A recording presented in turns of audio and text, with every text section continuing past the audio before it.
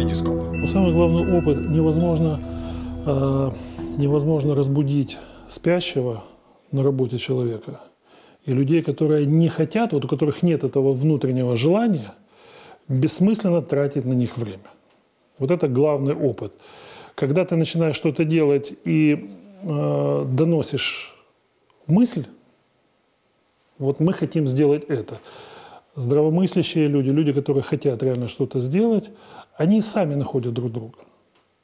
Все, дальше можно идти. Дальше, э, дальше можно приходить к общему знаменателю, о чем-то спорить, э, ну, вырабатывать общую политику, общую цель.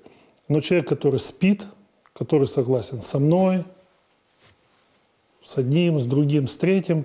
Причем у нас будут диаметрально Вопрос в том, кто сейчас толкнул и разбудил. Проснулся? Да, отлично. Вот так.